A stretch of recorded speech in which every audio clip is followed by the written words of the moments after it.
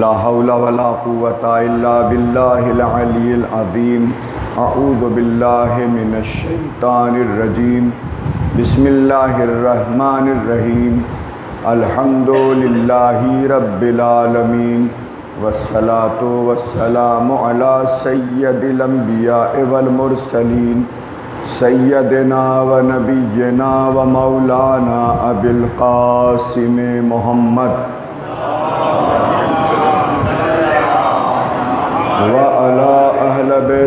بيته الطيبين الطاهرين المعصومين لا سيما على بقية الله في الأرضين وحجته على العالمين الامام المہدی المنتظر والحجت الثانی اشر ولعنت اللہ علی اعدائهم مجمعین اما بعد فهو اصدق الصادقین وقوله الحق بسم اللہ الرحمن الرحیم۔ علم آہد الیکم یا بنی آدم اللہ تعبد الشیطان انہو لکم عدو مبین۔ وَأَنِ اعْبُدُونِي هَذَا صِرَاطٌ مُسْتَقِيم صلوات بھیجئے محمد والے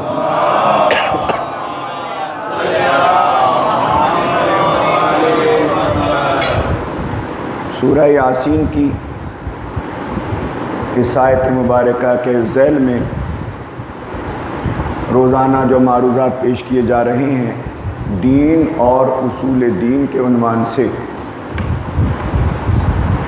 ان معروضات کا خاص طور پر جو گزارشات کل کی گئیں، ان کا خلاصہ یہ ہے کہ جب انسان دین اسلام کو قبول کرے گا تو یہ نہیں ہو سکتا کہ اس کے بہکانے کے لیے اور اس کو صراط مستقیم سے ہٹانے کے لیے کوئی نہ ہو۔ اس لیے کہ پہلی ہی منزل میں شیطان نے یہ اعلان کر دیا تھا کہ جب اس نے سجدہ نہیں کیا اور پروردگار عالم نے اس کو اپنی بارگاہ سے نکالا تو اس نے یہ اعلان کیا تھا پروردگار عالم کی بارگاہ میں لاقودن صراطک المستقیم، کہ میں تیرے سیدھے راستے پر بیٹھ جاؤں گا۔ میں تیرے سیدھے راستے پر یعنی صراط مستقیم پر بیٹھ جاؤں گا۔ اور وہاں بیٹھ کر کیا کرے گا؟ وہاں بیٹھ کر لوگوں کو بہکاؤں گا۔ ان کو صراط مستقیم سے بھٹکاؤں گا۔ ان کو سیدھے راستے پر نہیں چلنے دوں گا، چاہے وہ عقائد کا معاملہ ہو، چاہے وہ واجبات کا معاملہ ہو، محرمات سے دوری ہو۔ عقائد میں بھی پریشان کروں گا، عقیدے بھی خراب کروں گا اور اعمال یعنی فروع دین جو واجبات ہیں، ان پر بھی عمل نہیں کرنے دوں گا۔ اس نے اعلان کیا ہے۔ ایسا نہیں ہے کہ وہ چپ چاپ خاموشی سے نکلا ہو بارگاہ خدا سے، بلکہ اعلان کر کے نکلا ہے۔ کلم کلّا اس نے۔ اور پھر بھی کسی عام انسان کے سامنے نہیں۔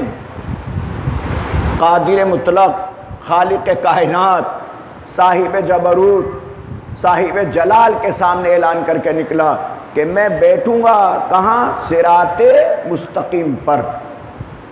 سرات مستقیم پر بیٹھوں گا جو تیرا راستہ ہے۔ وہاں بیٹھوں گا اور لوگوں کو بہکاؤں گا۔ اس سے پہلے کہ میں معروضات اپنے آگے بڑھاؤں۔ مومنین کافی دور ہیں، گزارش ہے کہ قریب تشریف لے آئیں۔ آپ لوگ ذرا آگے آ جائیے، جگہ بہت باقی ایک سلوات بھیجیے محمد وال محمد کا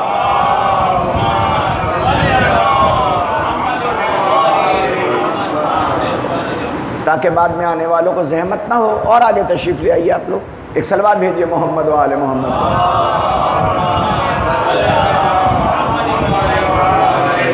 میں تیرے سیدھے راستے پر بیٹھ جاؤں گا اور لوگوں کو بہکاؤں گا۔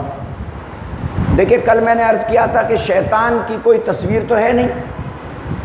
کیسے اس کو پہچانے کہ یہ شیطان ہے؟ ایک آدھ پہچان میں نے کل آپ کی خدمت میں عرض کی۔ اور تحفظ دین اور تحفظ عقائد اور تحفظ اسلام کی حفاظت کا انتظام بھی آپ کے سامنے عرض کیا۔ شیطان نے کہا، میں سرات مستقیم پر بیٹھ جاؤں گا۔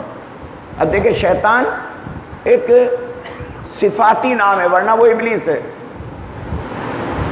کیونکہ اس نے اللہ کی نافرمانی کی، اللہ نے اس کو اپنی بارگاہ سے نکال دیا۔ اس کو باہر نکالا، نکلتے ہوئے اس نے یہ اعلان کر دیا۔ اب شیطان، اس کا کام یہ ہے کہ وہ لوگوں کو بہکائے۔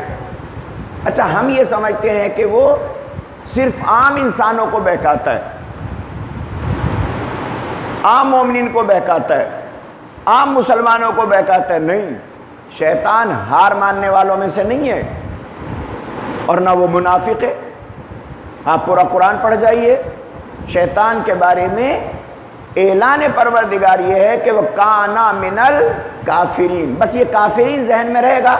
تو انشاءاللہ ہماری جو آج کی معروضات ہیں ان کا کوئی نہ کوئی حل آخر میں ضرور نکلے گا۔ لیکن توجہ رہے کہ اللہ نے اعلان کیا، نہ وہ مومن ہے، نہ وہ مسلمان ہے، نہ وہ منافق ہے، کیا ہے؟ وہ کانا منل کافرین کافروں میں سے تھا۔ شیطان کافروں میں سے تھا۔ تو وہ عام لوگوں کو تو بہکاتا ہی ہے۔ مگر اس کی جو رینج ہے، اس کی جو مار ہے بہت تیز ہے، بہت آگے تک ہے۔ جیسے ہمارے ہاں ملک بہت سارے اسلحے بناتے ہیں کہ اس میزائل کی دو سو کلومیٹر رینج ہے، کسی کی تین سو ہے، کسی کی آٹھ سو ہے، کسی کی ہزار ہے۔ کوئی یہ والا اسلحہ لے کے جاتا ہے کوئی وہ والا اسلحہ لے کے جاتا ہے۔ تجربے ہوتے رہتے ہیں آپ۔ روزمرہ کی اطلاعات اور خبروں میں چیزیں دیکھتے رہتے ہیں۔ شیطان کی مار بہت تیز، بہت آگے۔ کتنی تیز؟ کہ اس نے عام انسان تو چھوڑو۔ وہ انبیاء علیہ السلام کے گھروں میں داخل ہوا ہے اور وہاں بھی اس نے بہکانے کی کوشش کی ہے۔ یہ اور بات ہے کہ خود اس نے یہ کہا تھا، میں تیرے سارے بندوں کو بہکاؤں گا، مگر تیرے مخلص بندوں کو نہیں بہکا سکوں گا۔ اپنی شکست کا اعلان اس نے پہلے ہی کر لیا تھا۔ مگر کیا اس نے اس شکست کے اعلان کے بعد بھی کام کرنا چھوڑا؟ نہیں، اس نے کام کرنا نہیں چھوڑا۔ کوشش پھر بھی کی۔ آزمایا پھر بھی۔ آگے بڑھا پھر بھی۔ تو کیا اس سے ہمیں یہ سبق نہیں ملتا ہے کہ جب شیطان پتا ہے کہ کوئی بہک نہیں سکتا ہے، پھر بھی وہ کوشش کرتا ہے۔ تو کیا ایک مومن کی ذمہ داری نہیں ہے کہ وہ کوشش کرے، خود بھی اپنے آپ کو صحیح کرے اور اپنے اہل خانہ کو بھی گناہوں سے بچائے؟ یا ایو الذین آمنوا قو انفسکم واہلیکم النارا وقودها الناس والحجارہ۔ اے صاحبان ایمان، اپنے آپ کو بھی آج جہنم کی آگ سے بچاؤ اور اپنے اہل خانہ کو بھی اس جہنم کی آگ سے بچاؤ جس کا ایندھن پہاڑ بھی ہوں گے اور انسان بھی ہوں گے۔ کوشش کوشش کوشش کی اس نے۔ اور آپ دیکھیں، جو سب سے پہلا قتل زمین پر ہوا وہ حضرت حابیل کا تھا اور قتل کرنے والا سگا بھائی قابل تھا۔ اب کوئی کہہ دے جی آج کوئی برائی کرے تو ہم کہتے ہیں کہ ماحول اچھا نہیں ملا، معاشرہ اچھا نہیں ملا، دوستوں نے بہکا دیا، تربیت خراب ہو گئی۔ بہت ساری باتیں کہہ سکتے ہیں۔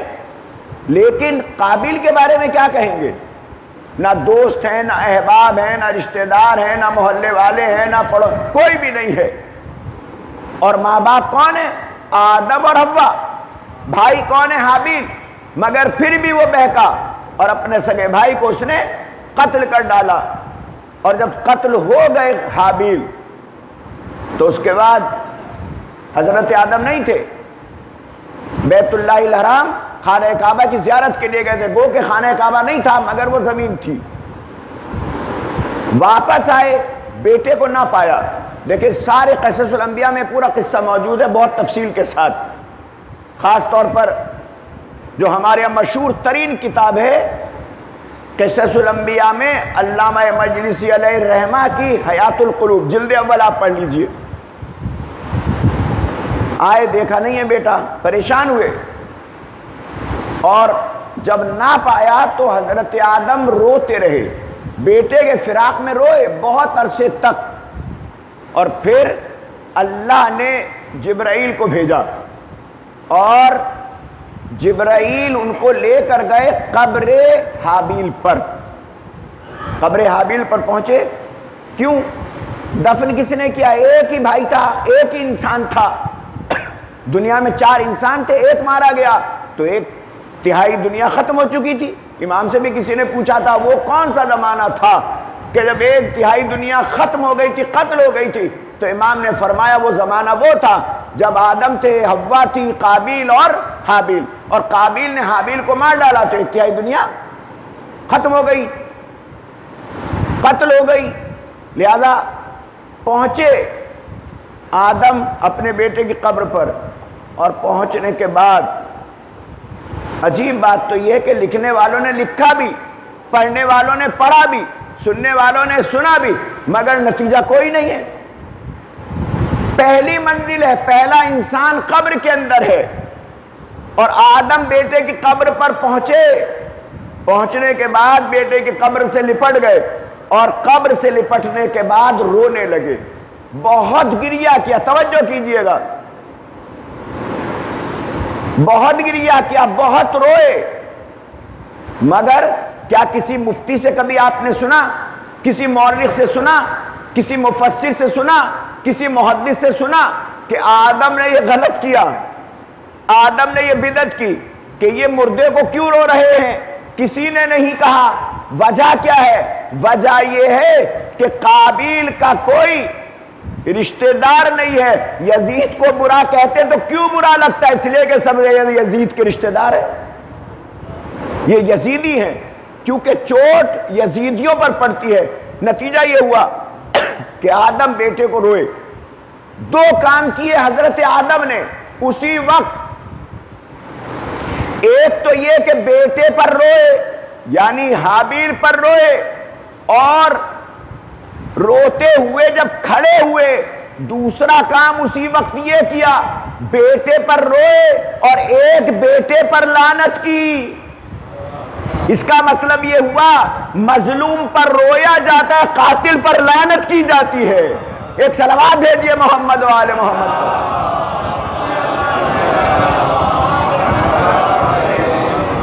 یہ تو ابتدا ہے۔ انسانوں تو وہاں بھی دیکھیے آپ کہ شیطان نے وہاں پورا سلسلہ پڑھ جائیے انبیاء کا۔ شیطان کس طریقے سے بہکاتا چلا گیا؟ حضرت نو علیہ السلام کشتی بن گئی۔ اور حضرت نو علیہ السلام جب کشتی بنا چکے پچاس سال میں کشتی بنی، بہت بڑی کشتی۔ بارہ سو گز لمبی، آٹھ سو گز چوڑی۔ تبلیغ کرتے رہے، قوم نہ مانی۔ اور ایک مرتبہ وفارت تنور تنور سے پانی ابلنے لگا۔ زوجہ نو علیہ السلام نے حضرت نو کو خبر دی، کہاں ہے یہ تنور؟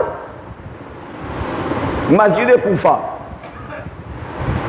حضرت نو علیہ السلام آئے، دیکھا کہ تنور جہاں سے آگ نکلنی چاہیے، وہاں سے پانی نکل رہا ہے۔ کہا کہ بس عذاب الہی آ گیا۔ لوگوں سے کہا، کشتی میں جلدی جلدی سوار ہو جاؤ۔ اب جو لوگ نبی خدا کے ذہن پر اعتراض کرتے تھے، کیونکہ کشتی ہمیشہ دریا سمندر میں بنتی ہے، کوفے کا علاقہ ریگستان، گرمی، وہاں پانی کا نام نہیں ہے۔ حضرت نو نے کہا، کشتی میں سوار ہو جاؤ۔ قوم نے کہا، ہم نہ کہتے تھے۔ عمر نو سو سال سے زیادہ لہذا ذہن صحیح نہیں ہے۔ لیکن جو نبی خدا کی اطاعت کرتے تھے، وہ کشتی میں سوار ہو گئے۔ جو نبی کو دیوانہ کہتے تھے، وہ ہلاک ہو گئے۔ کیا پیغمبر نہیں کہہ کے کر گئے؟ میرے اہل بیت کی مثال کشتی نوح کی طرح ہے، جو نبی پر ایمان رکھتے تھے وہ اہل بیت کے ماننے والے ہیں، جو نبی کے دماغ پر اعتراض کرتے تھے وہ پیغمبر اکرم کی کشتی نجات سے دور ہے ایک سلوات بھیجئے محمد والے محمد۔ آؤ کشتی میں سوار ہو جاؤ۔ کون سوار ہوا؟ صاحبان ایمان سوار ہوئے۔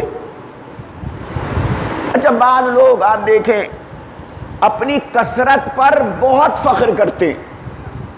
کہ یہ یا حسین کرنے والے بڑے تھوڑے سے ہیں۔ پندرہ فیصد ہیں، بیس فیصد ہیں، ہم زیادہ ہیں۔ ہم کثرت میں اور ہمارے یہاں بعض مومنین پریشان ہو جاتے ہیں۔ واقعی ہم تھوڑے ہیں۔ تو پریشان ہونے کی کیا بات ہے؟ کیا حدیث پیغمبر یہ نہیں بتاتی ہے کہ ہمیشہ صاحبان حق کم ہی ہوں گے۔ کیونکہ جو کشتی میں سوار ہوتے ہیں وہ ڈوبنے والوں سے بہرحال کم ہوتے ہیں۔ ایک سلوات ہے جی محمد والے محمد۔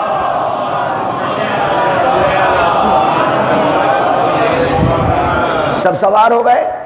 جو صاحبان ایمان تھے، اب زمین سے پانی ابلنا شروع ہو گیا۔ آسمان سے شدید بارش ہوئی۔ اور جب حضرت نو نے دیکھا جو صاحب ایمان نہیں ہے، وہ ڈوب رہے ہیں۔ اپنے بیٹے کو دیکھا، زوجہ کو دیکھا، وہ بھی ڈوب رہے ہیں۔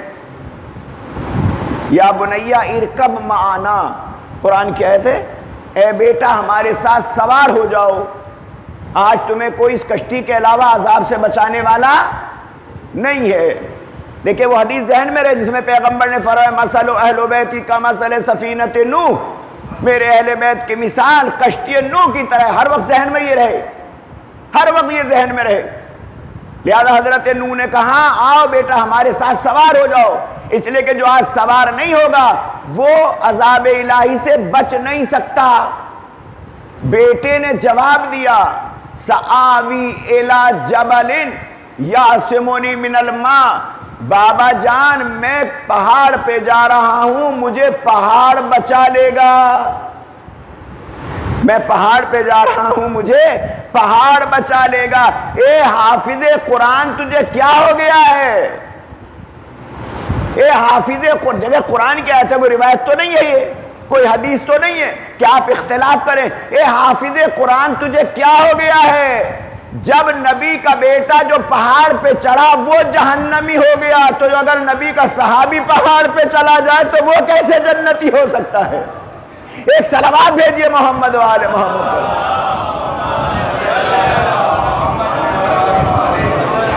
سآوی الہ جبلن یا سمنی من الماء۔ میں پہاڑ پہ جا رہا ہوں، وہ مجھے پانی سے بچا لے گا۔ نبی خدا کہہ رہا ہے کہ آج کوئی بچانے والا نہیں۔ مگر اس نے کشتی کو چھوڑ کر پہاڑ کی راہ لی۔ کشتی کو چھوڑ کر۔ حدیث پیغمبر ذہن میں رہے پھر آپ کو لطف آئے گا۔ کشتی نجات کو چھوڑ کر۔ اور پھر قرآن نے آواز دی۔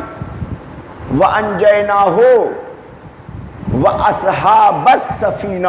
یہ لفظ تو بہت، اس لفظ سے تو بہت مانوس ہے نا اصحاب، صحابی۔ مگر قرآن کیا کہہ رہا ہے؟ وَأَنْجَيْنَا ہو وَأَصْحَابَ السَّفِينَ۔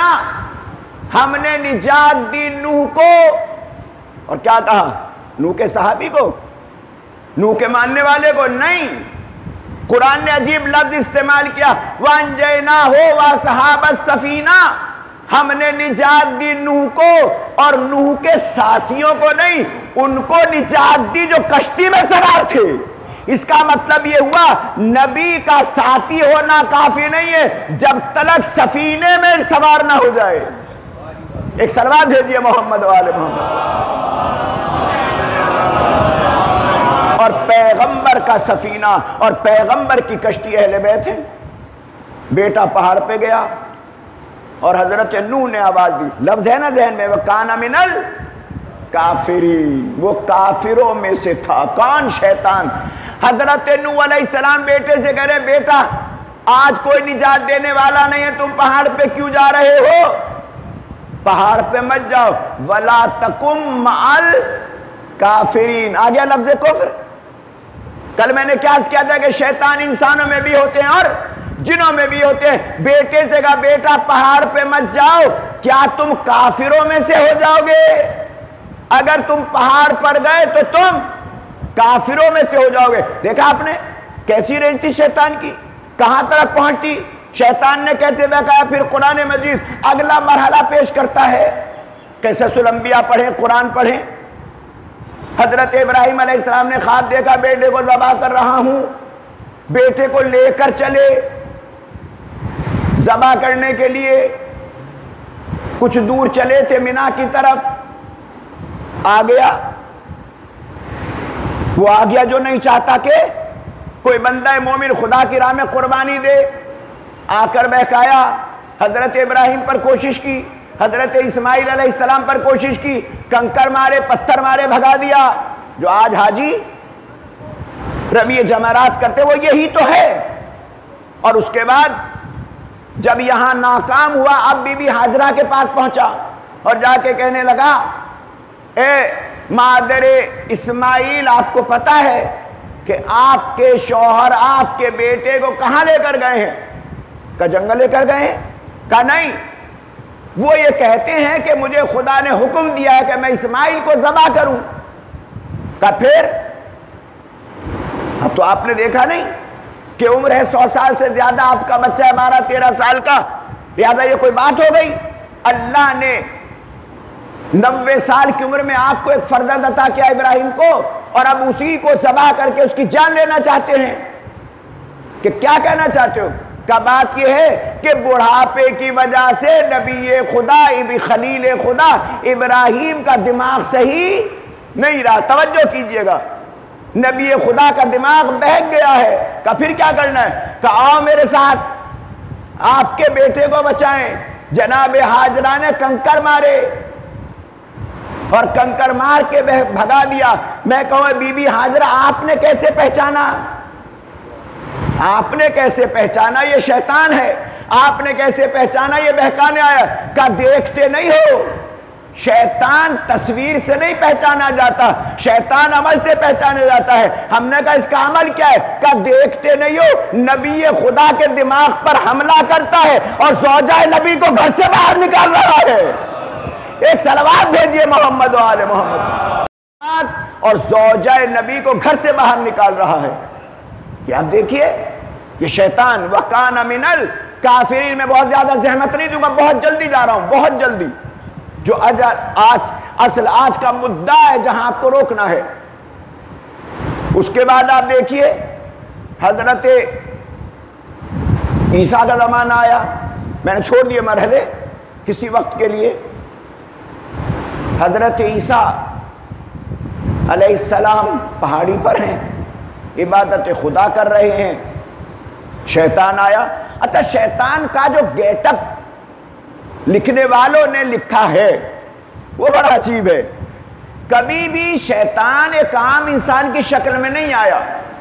باقاعدہ ایسے لباس اور ایسے چہرے کے ساتھ آیا کہ انسان یہ سوچے کہ اس سے بڑا متقر، اس سے بڑا عالم اور روحانی کوئی نہیں ہے۔ بس میں نے کہہ دیا جو مجھے کہنا تھا۔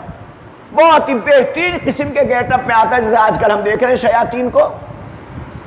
بھائی، جنگ نہروان میں جو لوگ آئے تھے، وہ ڈاڑی مونڈ کے نہیں آئے تھے، وہ بے نمازی بن کر نہیں آئے تھے۔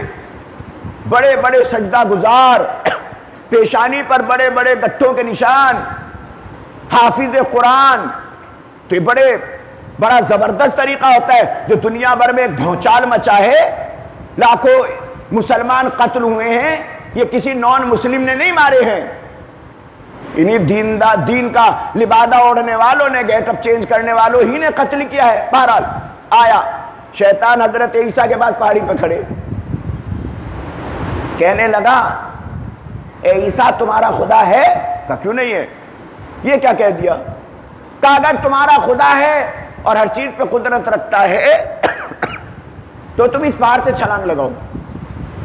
اس پہاڑ سے چھلانگ لگاؤ۔ اگر وہ طاقتور ہے، اگر وہ ہر چیز پہ قدرت رکھتا ہے، تو ہم تو دیکھیں تمہیں وہ بچا لے۔ جب مانے کہ وہ تمہیں بچا لے، کہ وہ ہر چیز پہ قدرت رکھتا ہے، حضرت عیسیٰ علیہ السلام نے کہا، میرا خدا اس چیز پر قدرت رکھتا ہے، مگر بندے کو کب زیبا ہے کہ اپنے خدا کا امتحان لے۔ حضرت عیسیٰ نے کہا، تو شیطان ہے۔ میں کہوں گا، عیسیٰ، آپ نے کیسے پہچانا؟ ہمیں بھی بتا دو تاکہ ہم بھی اس کے اس چال سے، ان حربوں سے اپنے آپ کو بچاتے رہیں۔ توجہ کیجیے گا، اگر آپ کے ذہن میں ہے تاریخ، تو آپ کو لطف آئے گا اس جملے میں۔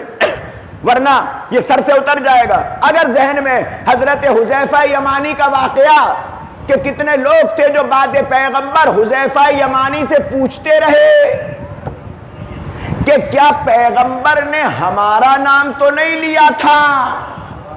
آیا آپ کے ذہن میں کیا پیغمبر نے ہمارا نام تو نہیں لیا تھا؟ کن لوگوں میں؟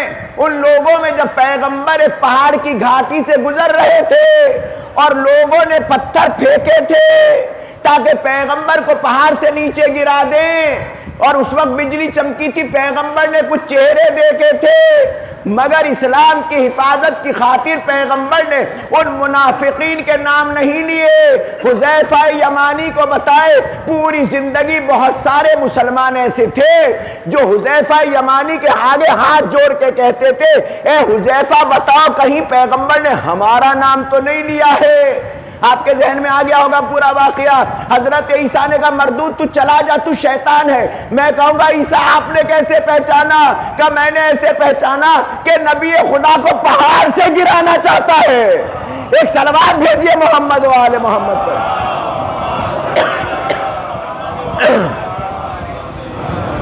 یہ مراحل ہے یہ مراحل ہے کہ شیطان کافروں میں سے تھا۔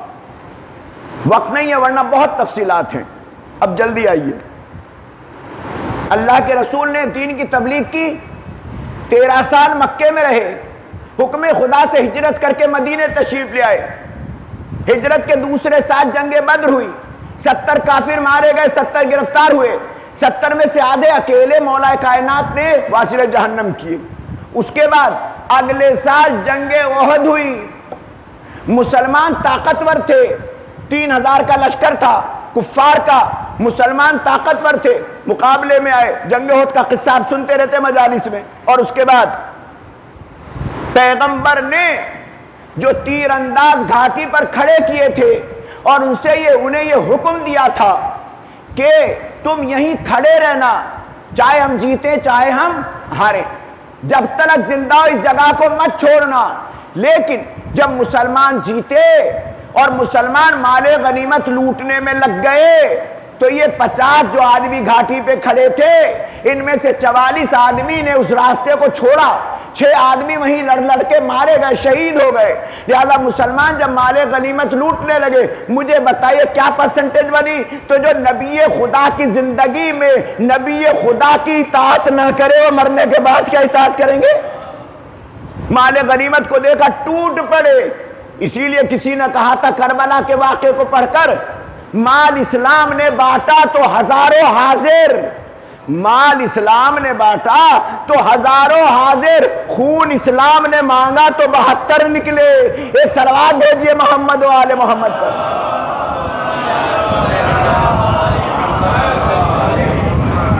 اب جو بھاگا ہوا لشکر تھا، کفار کا، وہ واپس آیا اور اسی رستے سے داخل ہوا۔ جو لوگ ماشاءاللہ عمرے کی زیارت اور عبادت سے شرفیاب ہو چکے ہیں، وہ میدان عہد گئے ہوں گے اور عہد پہاڑ کی زیارت کی ہوگی۔ اس لیے کہ امام نے فرمایا کہ عہد پہاڑ ہمارا عاشق ہے۔ عاشق اہل بیت ہے عہد پہاڑ۔ غور کیا آپ نے، جو نہیں گئے ان کے لیے دعا گوں کہ پروردگار عالم آپ کو مدینے کی زیارت نصیب فرمائے۔ بھاگا وا لشکر۔ جو خالد بن ولید کی قیادت میں تھا، وہ سارا بھاگا ہوا لشکر واپس آیا۔ اور واپس آنے کے بعد مسلمانوں پر جب اس نے حملہ کیا، مسلمان مارے جانے لگے۔ اب مسلمان بھاگنے لگے۔ ابھی دیکھیے، وقت نہیں ہے، ورنہ میں بہت ساری باتیں عرض کروں۔ کچھ باتیں ایسی ہیں کہ ڈیڑھ ہزار سال سے آمت المسلمین اس کا انکار کرتے چلے آ رہے تھے۔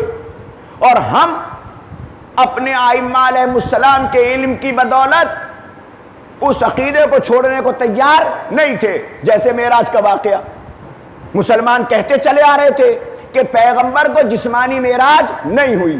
وہ روحانی طور پہ گئے تھے۔ لیکن آج آپ دیکھیں، ستر فیصد مسلمان اس بات کے قائل ہو چکے ہیں کہ پیغمبر اکرم کو جسمانی میراج ہوئی۔ اس کا مطلب ہم جیتے۔ توجہ ہے یا نہیں؟ مارکت العرا بحث ہے۔ ڈیڑھ ہزار سال پرانی کتابوں کو پڑھیے تو آپ کو اندازہ ہوگا کہ انبیاء کے علاوہ کسی کو علیہ السلام کہا جا سکتا یا نہیں۔ ہم اس بات پر ڈٹے رہے کہ انبیاء کے بعد آئمہ علیہ السلام کو علیہ السلام کہنا چاہیے، لکھنا چاہیے، بولنا چاہیے۔ آج ستر فیصد مسلمان ہیں جو ہمارے علاوہ بھی آئمہ علیہ السلام کو علیہ السلام کہتے اور لکھتے ہیں۔ آپ اچھی طرح جانتے ہیں۔ دیکھیں ہم اپنی جگہ رہے۔ اسی طریقے سے میدان احد میں جو لوگ بھاگے تھے، ہمارے مجالس میں علماء ذاکرین خطبہ پڑھتے رہے۔ لوگ برا مانتے رہے۔ ہم پڑھتے رہے۔ لوگ برا مانتے رہے۔ عالم پڑھتا رہا۔ لوگ برا مانتے رہے۔ خطیب پڑھتا رہا۔ لوگ برا مانتے رہے۔ خطیب پڑھتا رہا۔ مومنین واہ واہ کرتے رہے۔ ایک سلوات ہے جی محمد و آل محمد پر۔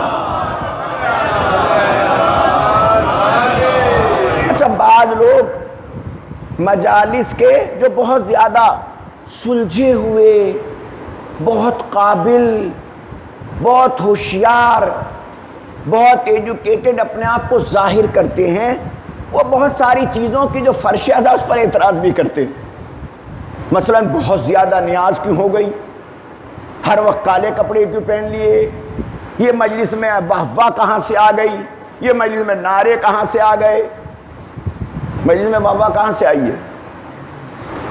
مجلس میں واہ واہ کرنے چاہیے مجلس کی رونق فضائل پر واہ اور مسائب پر گریا۔ مجلس کی اصل رونق یہ ہے۔ کہاں سے واہ آئی؟ آپ کی خدمت میں عرض کروں، نہج البلاغہ، جو سید رضی نے سید رضی نے مولا کائنات کے کلمات قصاروں، خطبوں اور خطوط کو جمع کیا، جس کا نام رکھا نہج البلاغہ جو ایک ہزار سال پہلے بغداد کے علاقے میں یہ دو موجزاتی عالم اور مجتہدین، سید مرتضی جن کا لقبی علم الہدا ہے یعنی ہدایت کا پرچم، جن کو شیخ مفید کے خواب میں آ کے فاطمہ زہرا نے کہا، یہ میرے بیٹے حسن و حسین ہیں۔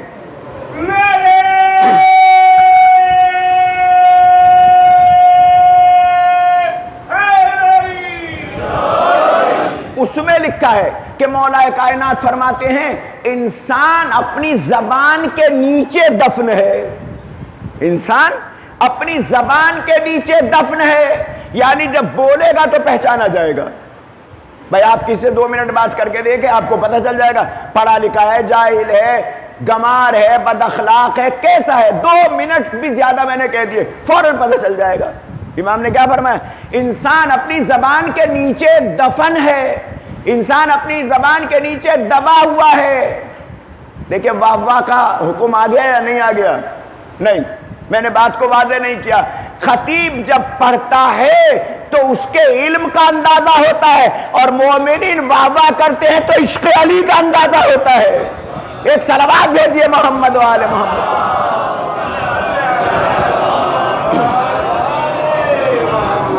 اب آئیے۔ میدان احد سے لوگ بھاگے۔ تو بات کیا ہو رہی تھی کچھ عقائد ایسے ہیں کہ جو مسلمان انکار کرتے چلے آئے ان عقائد کا، لیکن وقت نے اس کو صحیح ثابت کیا اور وہ ہمارے عقیدے پر واپس آئے۔ ان میں سے ایک یہ بھی تھا کہ بھائی کوئی بھاگا واگا نہیں ہے، لیکن عجیب بات یہ کہ سوشل میڈیا پر کتابوں میں تو ہے ہی، قرآن میں تو ہے ہی۔ مگر لوگ برا مانتے تھے، منہ چھپاتے تھے۔ جی آپ نے یہ کہہ دیا، بھاگ گئے، چلے گئے۔ بلکہ بعض لوگوں نے کہا، یہ گھوڑے سے کیوں مانگتے ہو؟ یہ جو محرم میں شبی ذوالجنہ بناتے لوگ جا کے زیارت کرتے، دعا مانگتے ہیں کہ آپ گھوڑے سے مانگتے ہو؟ کسی عالم نے جواب دیا کہ ہم گھوڑے سے مانگتے، کسی بھگوڑے سے تو نہیں مانگتے۔ میرے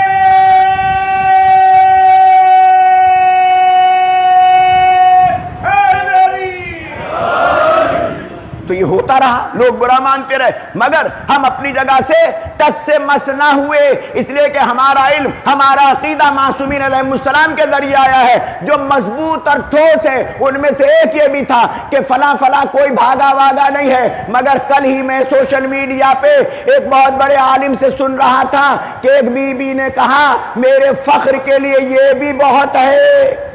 میرے فخر میں یہ بھی شامل ہے کہ بھاگنے والوں میں میرے ابا تھے سب سے پہلے واپس آئے۔ جناب، میں آپ کو کہے تو میں اس کے بعد دکھا دوں کہ میرے لیے یہ بھی فخر ہے۔ اور بعض لوگ تو اتنا تیز بھاگے، اتنا تیز بھاگے کہ کوئے احد مدینے سے چار کلومیٹر دور ہے صرف۔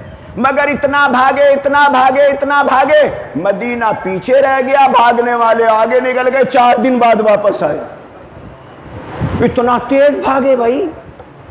حد ہے یا نہیں؟ یہ میں آج اس لیے کھل کے پڑھ رہا ہوں کہ سب علماء مان رہے کہ ہاں یہ بات بالکل صحیح ہے کہ وہ بھاگے تھے، وہ گئے تھے۔ تو اتنا بھاگے اتنا بھاگے کہ چار چار دن مدینے سے کتنی تیز کہ مدینہ پیچھے رہ گیا اور لوگ آگے نکل گئے۔ جب سب بھاگ گئے اور گھماسان کی جنگ ہوئی اور کفار نے ستر مسلمانوں کو شہید کر دیا۔ وکان امینل کافرین ذہن میں رہے۔ بس میں آپ کی زحمت کو تمام کر رہا ہوں۔ وکان امینل کافرین شیطان کافرین میں سے تھا۔ اور شیطان جنوں میں بھی ہوتے اور انسان اب یہ دو باتیں ذہن میں رہے تو انشاءاللہ نتیجہ آپ کے سامنے آ گیا ہے۔ سب بھاگے، سب چلے گئے۔ یہاں تلک کے جو نہیں بھاگے وہ مارے گئے۔ اب میدان خالی، میدان میں دو رہ گئے۔ ایک نبی خدا اور ایک وسیع نبی۔ ایک پیغمبر رہ گئے اور ایک مولا کائنات رہ گئے۔ تلواریں ٹوٹتی رہیں۔ آخر میں ذوالفقار آئی۔ لا فتح اللہ۔ یہ چلے کیوں گئے؟ بس یہ چلے کیوں گئے؟ اس کا جواب میں آپ کو تاریخ سے دیتا ہوں۔ کوئی کتاب پڑھ لیجیے، تاریخ اسلام کی جنگ احد پڑھ لیجیے۔ جو بزرگ پرانے علماء نے لکھے چاہے ان کا تعلق مکتب تشیع سے ہو یا اہل تسنن سے ہو، سب نے لکھا ہے۔ یک زبان، یک قلم، سب نے یہ بات لکھی ہے کہ بھاگنے والے جب بھاگ گئے اور ذوالفقار آئی تو جبرائیل دیکھ کے حیران تھے۔ وہ پریشان تھے، یہ ہوا کیا؟ ذوالفقار آ گئی، علی رکے ہوئے، پیغمبر رکے ہوئے ہیں۔ پریشان تھے، یہ ہوا کیا؟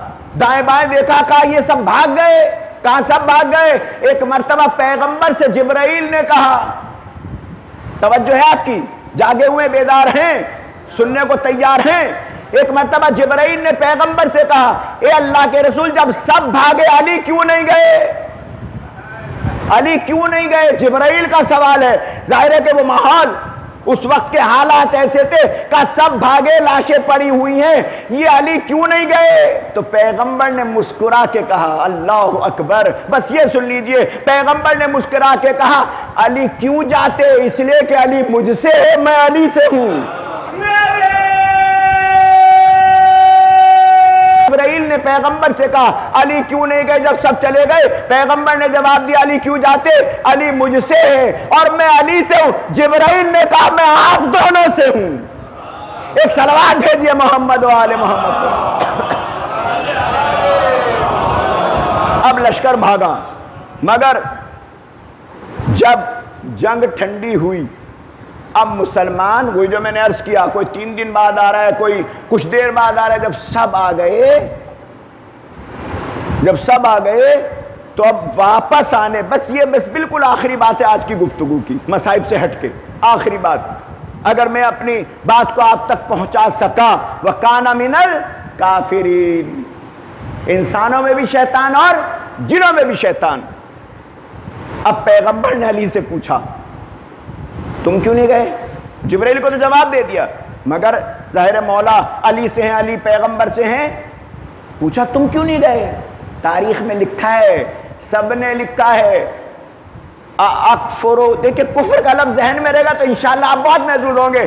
یہ مسلمانوں کے چوتھے خلیفہ امیر المومنین اور ہمارے پہلے امام کا جواب ہے میدان احد میں۔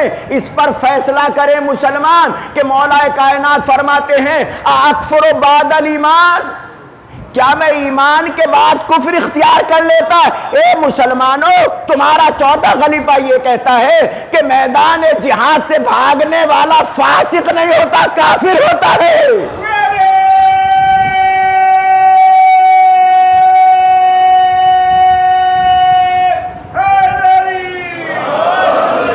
کیا میں ایمان کے بعد کافر ہو جاتا؟ میدان سے بھاگوں گا تو کافر ہو جاؤں گا، اور اس کے بعد اس کے بعد جب لشکر پلٹا، پیغمبر کے بعد کس کا دامن پکڑنا چاہیے؟ تاکہ ہم شیطان جیسے دشمن سے بچیں۔ اس میدان اوہد نے ہمیں قیامت تک کے لیے فیصلہ گیا جب واپس آئے، لوگوں سے پوچھا، کیوں گئے؟ کیا ہو گیا تھا؟ تو کہنے لگے کہ اللہ کے رسول ہم کیا کریں؟ ہم کیا کریں؟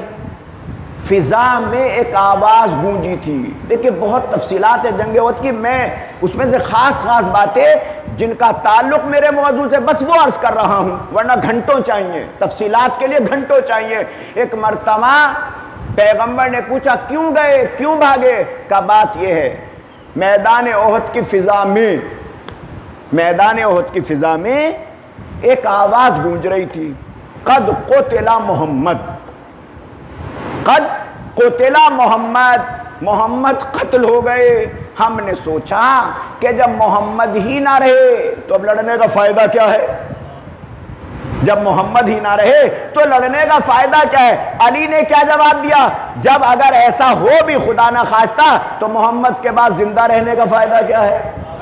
دیکھ رہے ہیں آپ؟ دیکھ رہے ہیں آپ؟ یہ صورتحال آپ دیکھ رہے ہیں۔ کتنا فرق ہے؟ کہا کہ جب ہم نے آواز سنی، محمد قتل ہو گئے، تو ہم نے کہا کہ اب زندہ رہنے کا، ہم نے کہا کہ اب لڑنے کا کوئی فائدہ نہیں ہے۔ لیکن حقیقت یہ ہے، یہ آواز کس کی تھی؟ کیا محمد واقعی قتل ہوئے تھے؟ نہیں ہوئے تھے۔ اچھا اگر کہا کس کی آواز تھی؟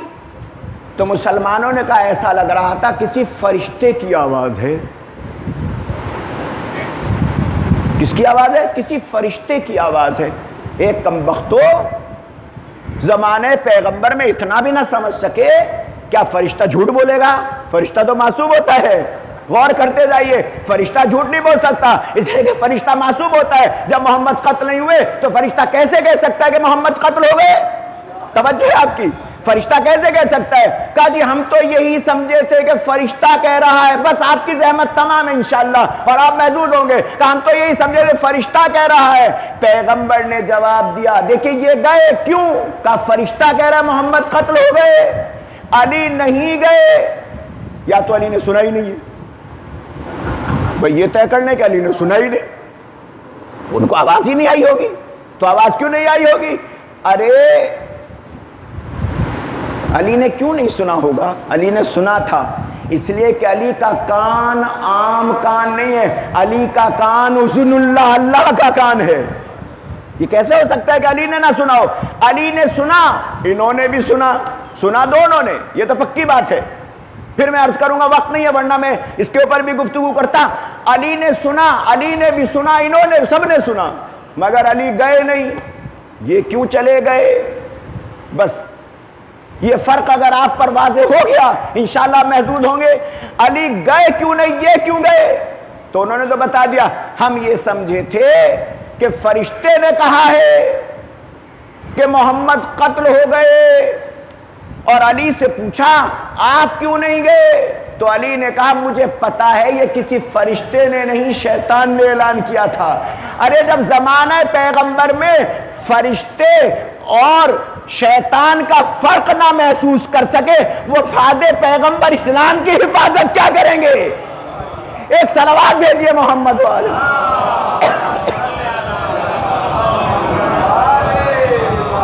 دیکھا آپ نے، میدان احد میں یہ فیصلہ ہو گیا کہ جو شیطان کو فرشتہ سمجھیں، علی نے پہچانا، یہ آواز یہ آواز شیطان کی آواز ہے جو محمد کو قتل ہوتا ہوا دیکھنے چاہتا ہے، اس کی تمنا یہ ہے۔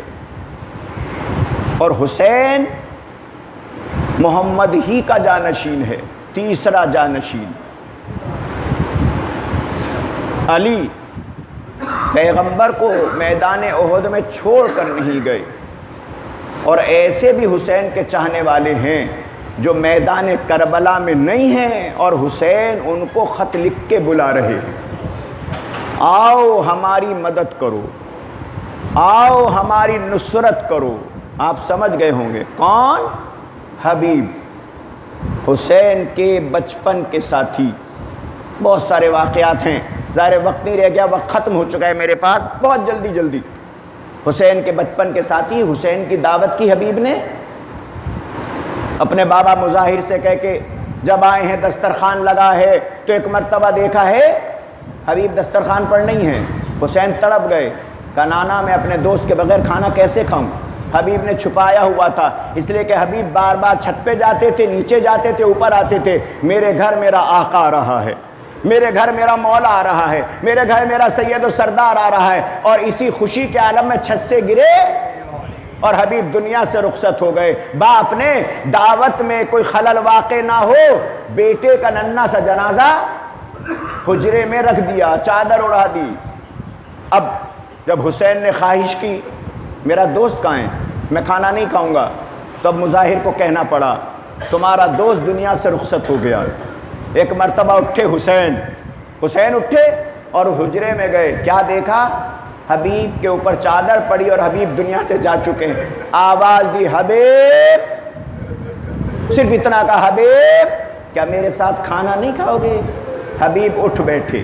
دیکھا اپنے اختیار، حسین ابن علی کا اختیار موت و حیات پر کتنا زیادہ ہے۔ حبیب اٹھ گئے۔ اور ایک مرتبہ آئے ساتھ میں کھانا کھایا تو وہ حبیب جو موت کی آغوش میں جا چکا ہو، حسین کو حسین کے پکارنے جب واپس آ سکتا ہے۔ تو کیا کوفے میں بیٹھا ہوا حبیب؟ اگر حسین بلائیں، حسین سے یہ تمنا زینب تھی توجہ ہے بس۔ آخری زحمت ہے۔ یہ تمنا زینب، بھیا، چار ہزار کا لشکر آتا ہے، بچوں کے دل دہل جاتے ہیں۔ بھیا، پانچ ہزار کا لشکر آتا ہے عمر سات کا لشکر آتا ہے، دس ہزار کا لشکر آتا ہے۔ میدان کربلا بھر گیا ہے۔ کیا میرے ماں جائے کا کوئی مدد کرنے والا نہیں ہے؟ کیا میرے کوئی ماں جائے کا چاہنے والا نہیں ہے؟ اے بھیا، تمہارا دوست حبیب، جو بچپن کا دوست ہے یہی قریب کوفے میں رہتا ہے۔ اے میرے بھیا، اس کو بلاؤ۔ حسین نے خط لکھا ہے۔ یہ خط ہے حسین ابن علی کا۔ حبیب ابن مظاہر مرد فقیح کے نام، ایک عالم کے نام، ایک مشتحد کے نام اور ایک مرتبہ حسین نے کا لکھا قاسی چھپتا چھپاتا چلا ہے۔ حبیب اپنی زوجہ کے ساتھ بیٹھے ہوئے ہیں، کھانا کھانا چاہتے ہیں۔ ایک مرتبہ لقمہ گلوگیر ہوا، ایسا لگتا ہے کسی بھوکے نے یاد کیا ہے۔ ایسا لگتا ہے کسی پیاسے نے یاد کیا ہے۔ دروازہ کھٹکھٹایا، حبیب اٹھ کے گئے، حسین کا خط لیا۔ دیکھا حسین کا خط ہے۔ انا برید الحسین سر پہ رکھا، آنکھوں سے لگایا، میرے آقا نے بلایا ہے۔ میرے آقا کا خط ہے۔ ایک مرتبہ پڑھتے ہوئے جب اندر داخل ہوئے، زوجہ نے پوچھا، کیا بات ہے؟ کہا، حسین کا خط ہے۔ کیا لکھا ہے؟ کہا، سلام کے بعد لکھا ہے۔ اے حبیب، تم تو جانتے ہو میں زہرا کا بیٹا ہوں۔ تم تو جانتے ہو میں رسول کا نواسا ہوں۔ اے حبیب، میں تمہیں کبھی زحمت نہ دیتا۔ اے حبیب، میں تمہیں کبھی پریشان نہ کرتا اس بڑھاپے میں، مگر حبیب، میرے ساتھ زہرا کی بیٹیاں آ گئی ہیں۔ اے حبیب، آ جاؤ۔ اے حبیب، ہماری مدد کرو۔ ایک مرتبہ حبیب کی زوجہ نے پوچھا، اے حبیب، پھر کیا ارادہ ہے؟ کہ تیرے بارے میں سوچتا ہوں۔ ایک مرتبہ زوجہ حبیب نے مومنہ نے کہا، حبیب، یہاں بیٹھو، میں حسین کی مدد کے لیے جاتا ہوں۔ کہ تیرے ایمان کا امتحان ہے۔ حبیب اپنی سواری پر سوار ہوئے، ایک مرتبہ چلتے گئے۔ چلتے چلتے گئے، مگر اس سے پہلے ایک جب راستے میں ایسا مقام آیا، غلام کو سواری دی، جا فلا مقام پہ رات کی تاریکی میں ٹھہر جا، میں پہنچوں گا، پھر میں جاؤں گا۔ ایک مرتبہ غلام سواری لے کے گیا، حبیب کو چھپتے چھپاتے پہنچنے میں کچھ وقت لگا ناکہ بندی ہو چکی ہے کوفے کی، پورے علاقے کی۔ حبیب چلے، پہنچنے میں دیر ہوئی، کیا دیکھا کہ حبیب کا غلام حبیب کی سواری کے گردن میں باہیں ڈالے ہوئے، اس کے کان میں کہہ رہا ہے، اے میرے میرے آقا کی سواری تو روتا کیوں ہے؟ اگر میرا آقا نہیں آیا، میں تجھ پہ سوار ہو کے جاؤں گا۔ حبیب نے سر کو پیٹا۔ ارے غلاموں کا یہ حال ہے، یہ آزاد کیوں نہ اپنی جانیں قربان کرے؟ حبیب بیٹھے، غلام پیچھے پیچھے۔ ایک مرتبہ حبیب نے کہا، کیا بات ہے؟ کہا، جب تک اپنی غلامی میں رکھا، ساتھ رکھا۔ آج حسین کی غلامی نصیب ہو رہی ہے۔ حبیب نے اپنے غلام کو سواری میں بٹھا کے ایک مرتبہ ساتھ چلے، یہاں تلک کے۔ جب حبیب میں میدان کربلا میں داخل ہونے لگے۔ حسین اپنی کرسی سے اٹھے۔ حبیب نے، حبیب جب آئے ہیں، ایک مرتبہ حسین نے کہا، اکبر استقبال کرو، عباس استقبال کرو اونو محمد استقبال کرو۔ میرے بچپن کا دوست حبیب آ رہا ہے۔ حبیب قریب آئے۔ ایک مرتبہ لشکر حسینی میں نعرہ تکبیر کی آوازیں بلند ہوئی۔ آواز خیموں میں گئی۔ شہزادی نے فضا کو بھیجا۔ اے فضا، ذرا در خیمہ پہ جا کے دیکھ۔ میرے بھائی کے لشکر میں خوشی کی لہر کیوں ہے؟ کہا شہزادی آپ کے بچپن کا دوست حبیب آیا ہے؟ ایک مرتبہ شہزادی نے کہا، اے حبیب فضا، حبیب کو میرا سلام کہہ دے۔ حبیب کو میرا سلام کون ہے؟ یہ کائنات ان کو سلام کہتی ہے، فرشتے سلام کرتے ہیں، جبرائیل سلام کرتے ہیں، ملائکہ، انبیاء ان کو سلام کرتے ہیں۔ ایک مرتبہ جب شہزادی نے کہا، فضا، جا کے کہو، حبیب تمہیں زہرا کی بیٹی بیٹی زینب نے سلام کہا ہے اور جب فضا در خیمہ پر آئی ہے اور فضا نے کہا، حبیب تم بڑے خوش نصیب ہو۔ زینب ثانی زہرا نے تمہیں سلام بھیجا ہے۔ ایک مرتبہ حبیب نے سر سے امامہ اتارا۔ زمین پر بیٹھے، سر میں خاک کربلا ڈالی۔ واہ غربتا، واہ حسینہ نے پکارا۔ پہلے حبیب کو پکارا، لٹا ہوا لشکر۔ جب کوفہ پہنچا، ایک مرتبہ حبیب کے بیٹے نے دیکھا، حبیب کا سر نو کے سنا پر ہے۔ آگے بڑھا، اپنے قبیلہ بنی اسد کے ساتھ آیا۔ باپ کا سر آزاد کرا لیا۔ سید سجاد سے برداشت نہ ہوا۔ ارے، جس کے قبیلے کے لوگ زندہ ہو، اس کا باپ کا سر نو کے نیزہ پڑ گئی میرے بابا کا سر۔ نو کے